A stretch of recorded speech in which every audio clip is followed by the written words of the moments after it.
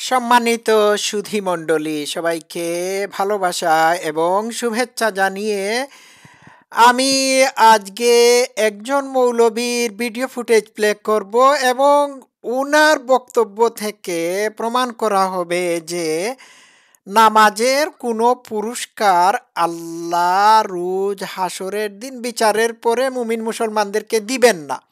তাহলে এই মুমিন মুসলমানরা পাঁচ নামাজ পড়ে সময় নষ্ট করছে কেন?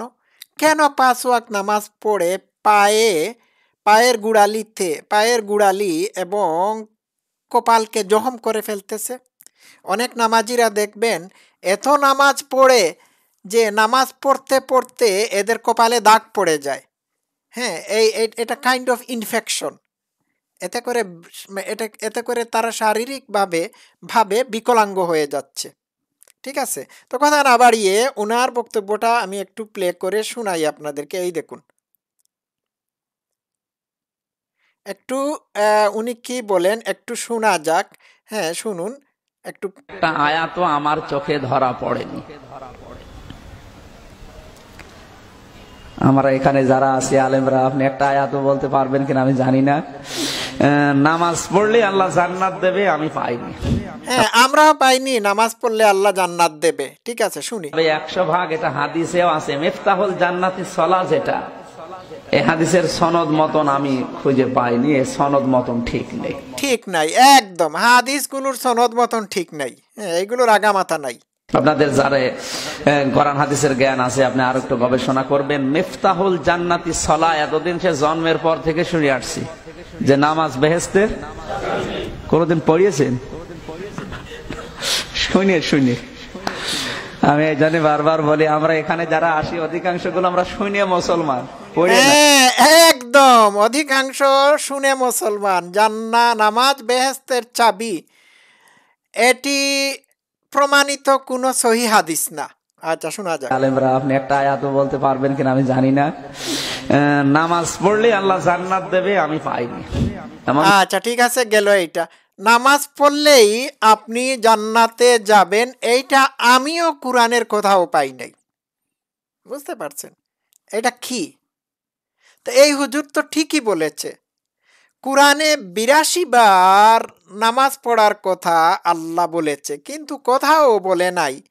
যে নামাজ পড়লে তুমি জান্নাতুল ফেরদাউসে যাবে। বরং আল্লাহ বলেছে যে তোমাদের জান মাল আমি খরিদ করে নিয়েছি জান্নাতের বিনিময়ে। এখন জান মাল আল্লাহ খরিদ কেন করেছে? কিসের জন্য করেছে?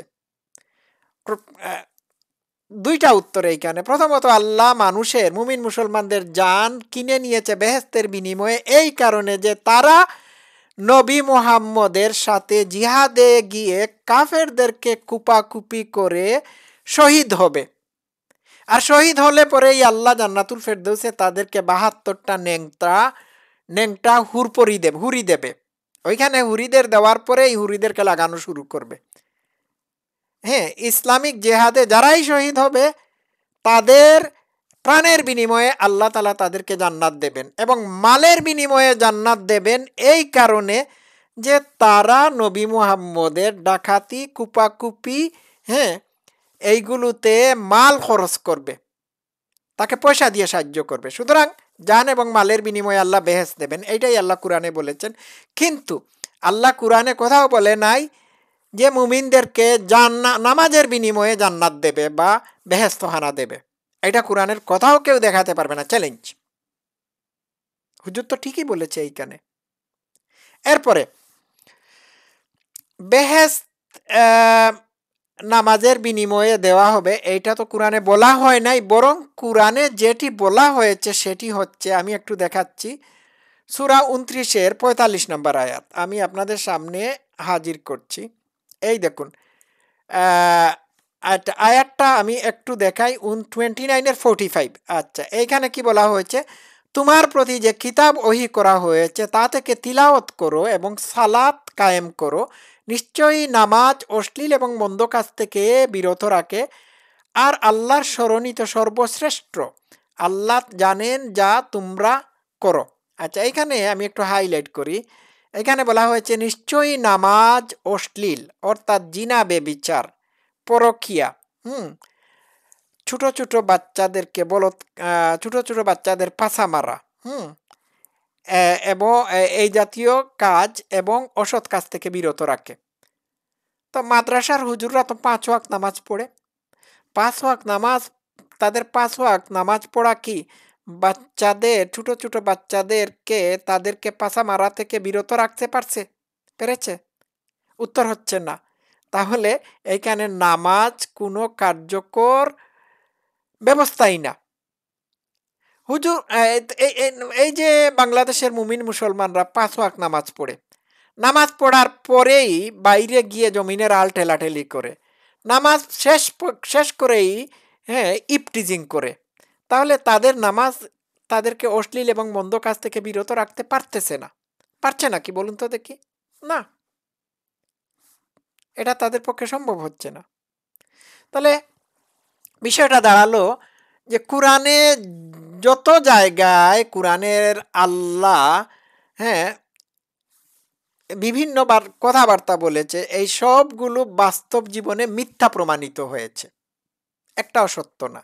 তা আমি আবার আমি নামাজ আই গো ব্যাক টু নামাজ এগেইন হ্যাঁ আমি আবার নামাজে চলে যাই। এই যে দিনে পাঁচবার মুয়াজ্জিনরা আল্লাহু আকবার আল্লাহু আকবার, হাক্কা হুয়া, কাক্কা হুয়া করে আল্লাহর কান পর্যন্ত ফাটাই ফেলাই দে আমাদের কথা বাদ দিলাম। ফাটাই ফেলাই দে ফাটিয়ে দিয়ে আল্লাহর কান ফাটিয়ে দিয়ে আল্লাহকে বধির বানিয়ে ফেলে, হুম, তাকে মানুষকে তাকে মানুষদেরকে সেজদা করার জন্য মসজিদে নিয়ে যায়। এই মানুষগুলো যে দিনে পাঁচবার কপাল ঠুকরায় হ্যাঁ এইভাবে সারা জীবন পাঁচবার কপাল ঠুকরাতে ঠুকরাতে কপাল ঘা করে দেয় এতে লাভ হচ্ছে কি? এতে কোনো কিছুই লাভ হচ্ছে না। ওই যে আমির হামজা বলছেন, কোনো লাভ হচ্ছে না। তাদেরকে এর বিনিময়ে কোনো জান্নাত বা বেহেস্ত দেওয়া হবে না। তো বাংলাদেশের মুমিন মুসলমানরা নামাজ পড়ে জান্নাতে যেতে পারবে না। এটার কোনো গ্যারান্টি নেই। তাহলে তারা না পাঁচ ওয়াক নামাজ পড়ে কেন? তাদের পাঁচ ওয়াক নামাজ পড়া থেকে বিরত থাকতে হবে। দ্বিতীয়ত, তারা পাঁচ ওয়াক নামাজ না পড়ে তারা বেহেস্তে যাওয়ার জন্য নিজের জীবনকে জীবনকে স্যাক্রিফাইস দিতে হবে জিহাদে গিয়ে।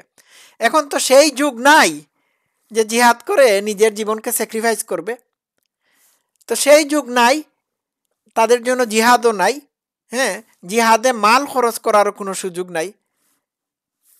অতএব এই চান্সটাও তারা খোয়ালো। নামাজ পড়ে তো কোনো কাজ নাই, নামাজ পড়ে তো ভেস পাওয়া যাবে না। ভেস পেতে হলে জিহাদে যান মাল খরচ করতে হবে। এখন সেই সুযোগ যেহেতু নাই, তারা উভয় কুল হারার হারালো। হুম, ঠিক না? তো বেফায়দা, খামাখা, নামাজ পড়ে সময় নষ্ট করার চেয়ে গান বাজনা শোনা অনেক ভালো। পাঁচবার নামাজ পড়ে, পাঁচবার যদি পাঁচটা বইয়ের, ভালো বইয়ের হ্যাঁ অধ্যায় পড়া যায়। তাহলে লাভ? হুম। বা পাঁচবার নামাজ পড়ার চেয়ে যদি কেউ পাঁচবার হ্যাঁ পাঁচটা ক্লাসিক্যাল মিউজিক শুনে, তাহলে তাদের মন রিল্যাক্সড হবে ডিপ্রেশন চলে যাবে। তাৎক্ষণিকভাবে তারা ফলাফল ভোগ করতে পারবে, ফলাফল পেয়ে যাবে। নামাজ পড়ে কোনো ফলাফলই নাই, এর কোনো বিনিময়ই নাই। তাহলে কেন নামাজ পড়বে? পাঁচক নামাজ না পড়ে এমন কোনো কিছু দুনিয়াদারি, দুনিয়াতে এমন কোনো কাজ করুক হ্যাঁ যাতে করে এটির ফল তারা পায়। তো আমির হামদা তো ঠিকই বলেছে নামাজ পড়ে কোনো লাভ নেই। তো নামাজ পড়া বাদ দেন, সময়ের সাশ্রয় করুন, আর এই সময়টুকুতে অন্যান্য ভালো কাজ করুন, যার ফল আপনারা তাৎক্ষণিকভাবে পাবেন অথবা অধুর ভবিষ্যতে পাবেন। ঠিক আছে? এইটুকুই থাকুক আজকে সবাই ভালো থাকবেন লাভ ইউ অল।